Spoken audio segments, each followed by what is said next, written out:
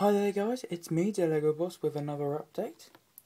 Uh, as I said in my last update video, I would be expanding the Lion Army currently, and so I have stuck by that. 23 Lion Spearmen have arrived. Uh, this is the first of two orders to arrive. The next order is a group of knights to become the King's Guard, so to speak. But at the moment they're here. 23 spearmen. This makes the army up to around 100 now, so it is gathering to be one of my biggest. Uh, the only army currently boosting it is my skeleton army, which I have not updated in some time. Anyway guys, this is me, Lego Boss, just giving you a quick update. Please comment, rate and subscribe.